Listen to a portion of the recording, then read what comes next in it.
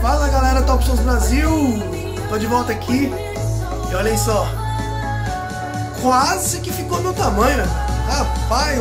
pouquinho aqui. Olha que eu vou trazer pra vocês. NX7 da Philips. Essa caixinha torre que vou até me abaixar aqui, né?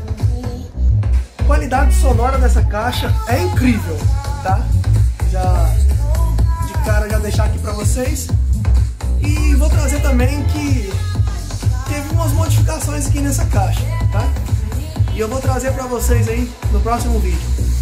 Simbora!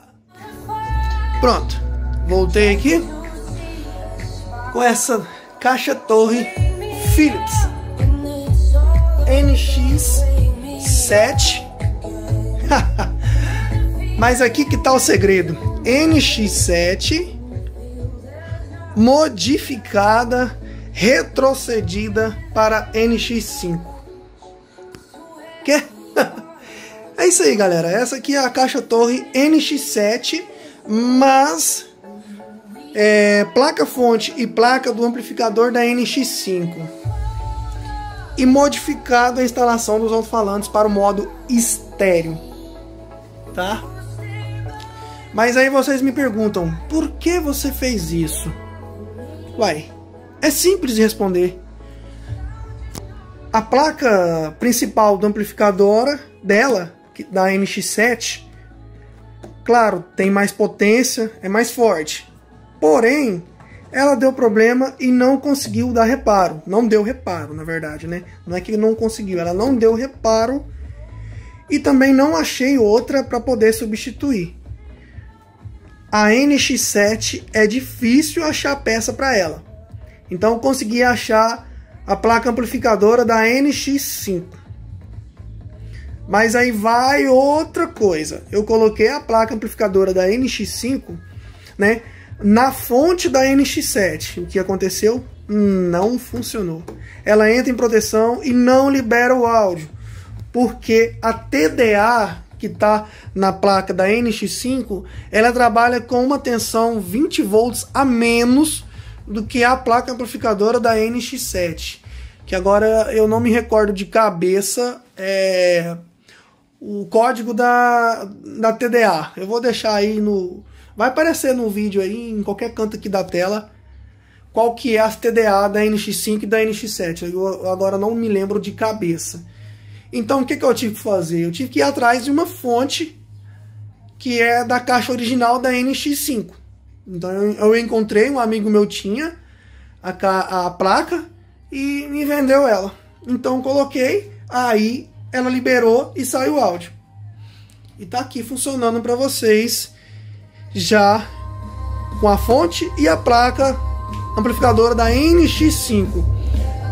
Agora tá só o logo NX7, né? Porque a NX7 são duas caixas, né? É uma ativa e a outra passiva. Então dá o lado esquerdo e o direito. Olha o grave dessa porra.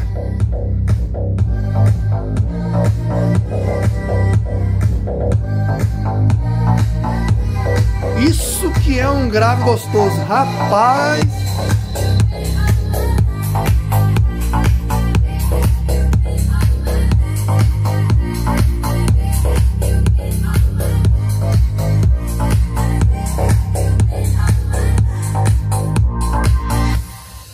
Sei se vai dar para vocês escutar o estéreo, né? A espacialidade do estéreo, mas coloquem um fone que vai dar para vocês perceber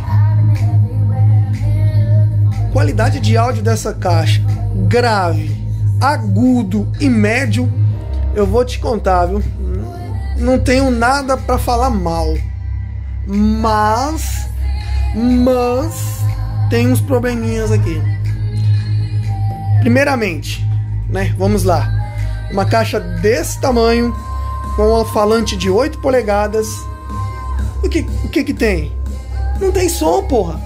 Não tem, uai. Ó, vou aumentar aqui. Ó.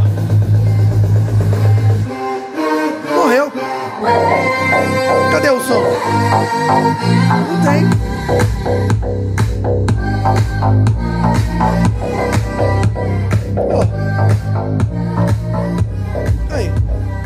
Simplesmente é isso, não tem som. É muito baixo. Ah, e outra. Aqui, ó. Chegou no 29, ela corta o grave. 28, ela libera o grave. Olha. Esperar chegar uma outra música aqui, vou mostrar pra vocês. Que ela, no 28, o grave tá top, top. Mas chegou no 29, ela já corta o grave. É simples assim. Ó. Piem só.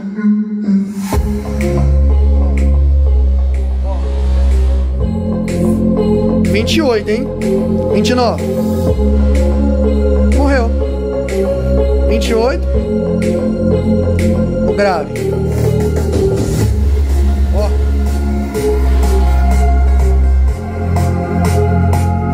Estão vendo, né?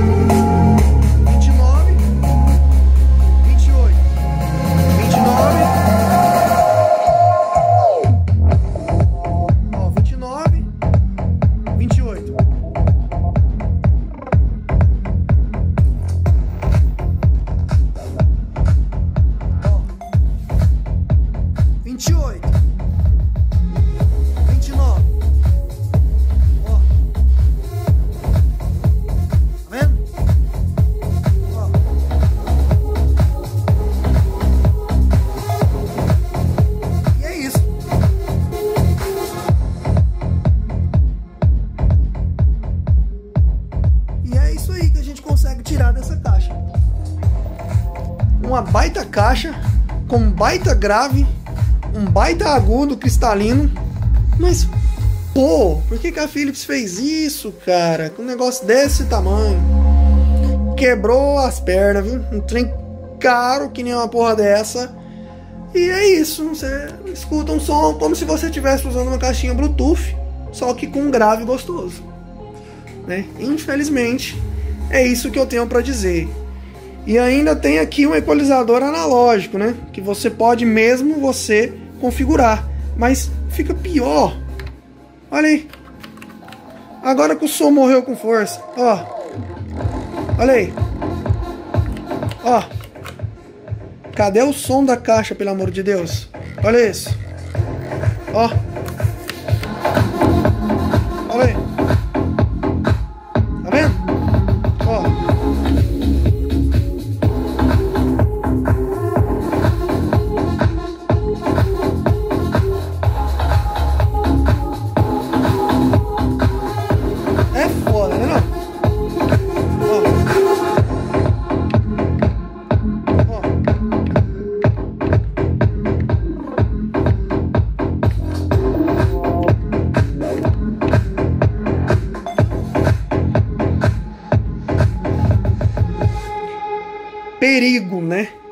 Como diz a Philips, perigo.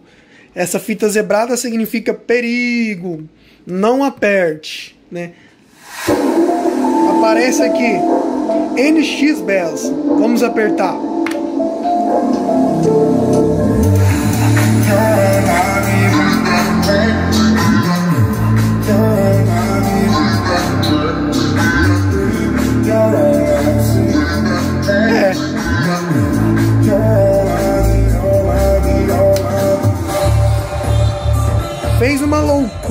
Os LEDs aqui, né?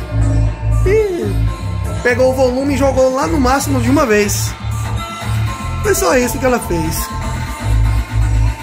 E é isso aí, galera. É o que eu tenho para trazer aqui sobre essa caixa torre Philips. Já tá começando a escurecer aqui.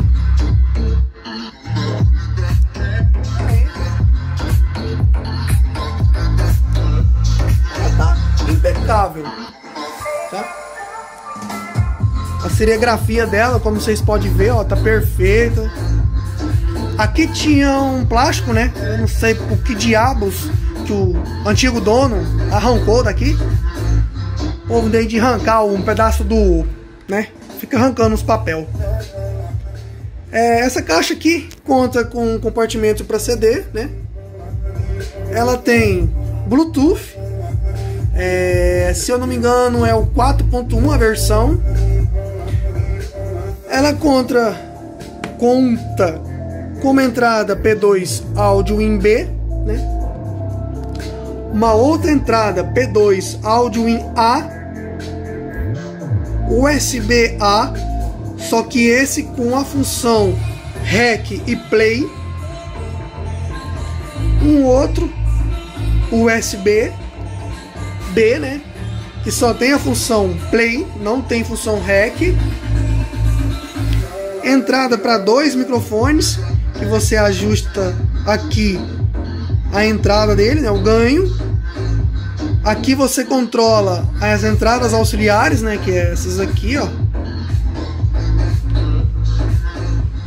E temos esse crossfader aqui que você controla a entrada, ó, que ele tem é dividido a entrada A com a entrada B, tá vendo?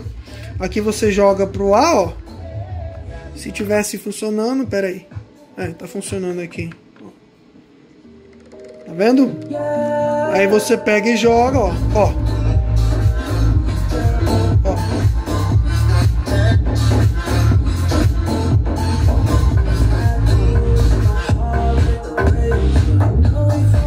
Na verdade, você faz tipo uma mixagem, né? Você tira de um, um USB e passa para o outro, fazendo esse fader aqui, ó. É, conta também com essas funções de DJ aqui, ó. Que só funciona no USB-A, tá? No USB-B não funciona as funções DJ aqui, ó. Ó. ó. Vou pausar, ó. Ó. Vendo as funções?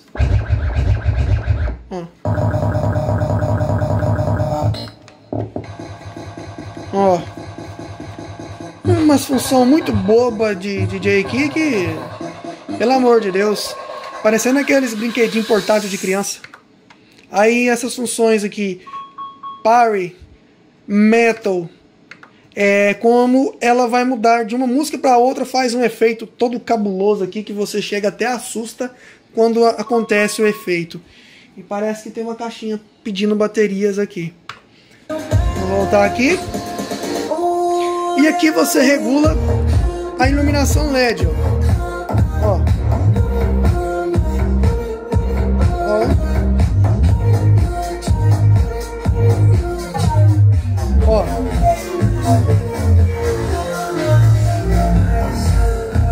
Tá vendo? Esse é o efeito DJ aqui, ó. Que a, o próprio processador dela joga. E tem hora que. Olha, ó.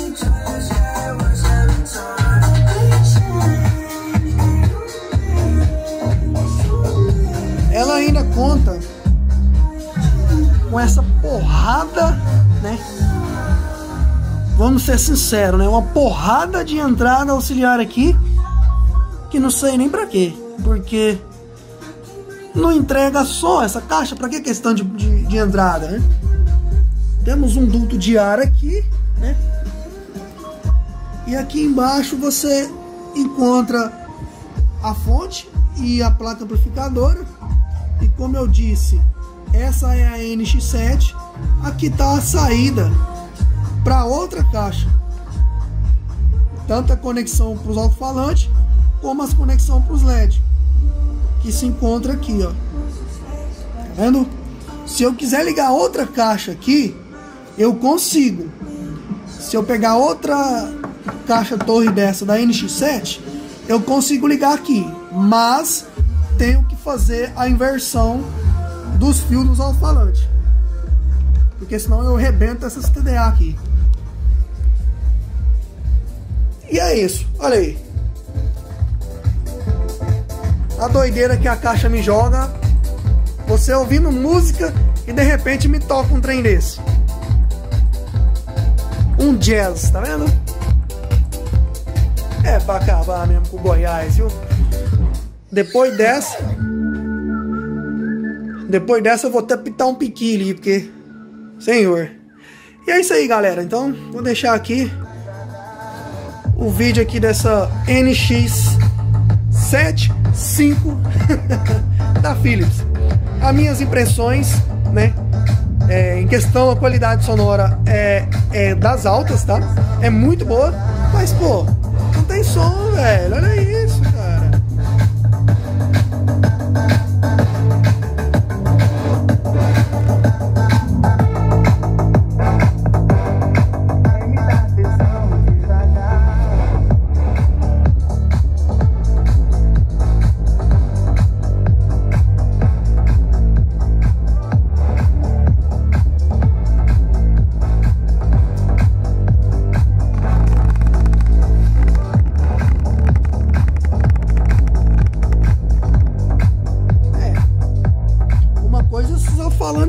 fazer, né?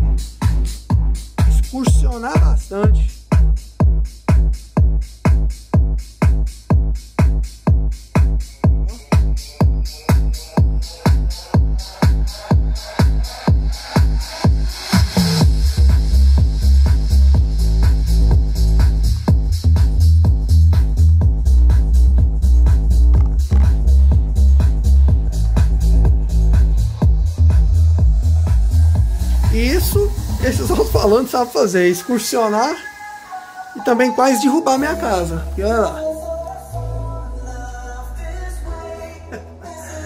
É, tá dando rachadura ali, ó, só no grave dessa, dessa NX5 aqui. É isso aí, galera. Se vocês curtir, deixa o like aí. Se não curtir, deixa o dislike também. A equipe Top Sons Brasil abraça também quem dá dislike, né? E dá um beijo em quem dá like. E se inscreve aí, aperte no sininho para vocês receber mais vídeos aqui da equipe Top Sons Brasil para vocês. E olha só a bagunça aqui no meu quarto.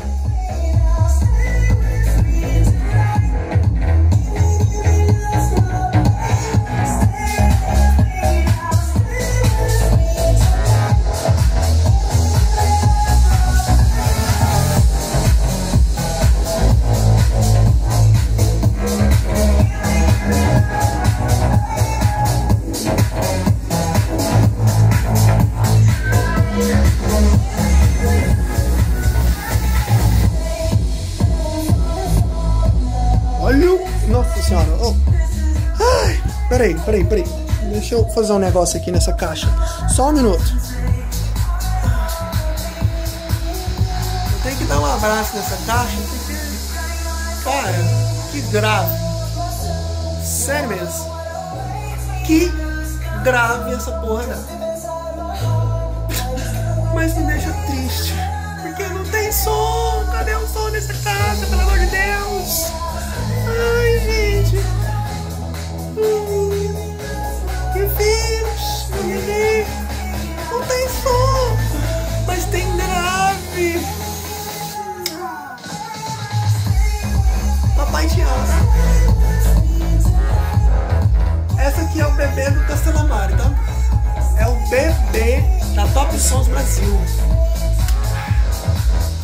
Isso aí, galera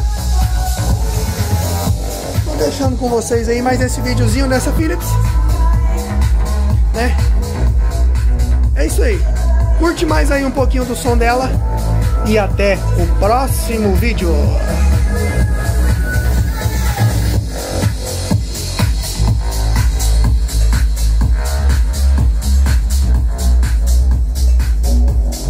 Para vocês perceber o grave, usa fone vocês vão ter uma noção muito boa do grave dessa caixa.